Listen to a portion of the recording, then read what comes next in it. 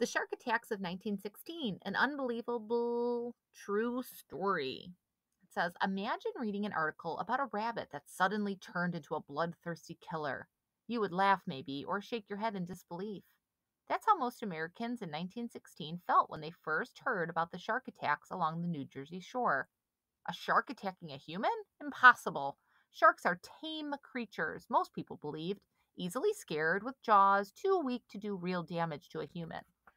There were no real marine biologists in those days, no scuba gear or submarines for underwater exploration. There had never been close studies of sharks, just stories passed down over generations. And of course, everyone knew about Herman Oelrichs and his, fam- and his famous reward. In 1891, the tycoon had offered $500 to anyone who could prove that a person had ever been attacked by a shark along the east coast of the United States, north of North Carolina.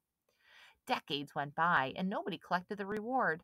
This seemed to confirm the popular belief that sharks posed no danger to humans. And then came the attacks of 1916. Though the characters in my book are made up, the major events of the story are true. Over 12 days during the scorching hot July of 1916, four people were killed in shark attacks. First, Charles Van Sant and then Charles Bruder were fatally wounded swimming in the ocean. Then, 16 miles from the ocean, 11 year old uh, Lester Stillwell was killed while swimming in the creek with his, while, while swimming with his buddies in the Matawan Creek. 24 year old Stanley Fisher was attacked trying to rescue Lester. 12 year old Joseph Dunn was bitten on the leg but survived, just like Chet. These attacks shocked America and shattered false ideas about sharks. There was no doubt that these were shark attacks. Two days after the Matawan attacks, a great white shark was caught in the Raritan Bay. It had human bones in its stomach, which seemed to prove that the killer had been caught. But over the past few decades, scientists and investigators have raised questions about the attacks. Many doubt that a lone great white was responsible.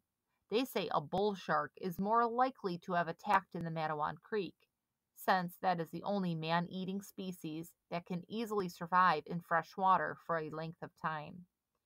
In the weeks before the first attacks, ship captains had reported seeing more sharks than usual in the Atlantic shipping lanes, including great whites and bull sharks.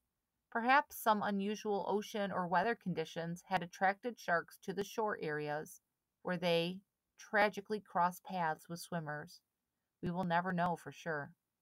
What we do know is the shark attacks are is that shark attacks are extremely rare and that the attacks of 1916 will never be forgotten.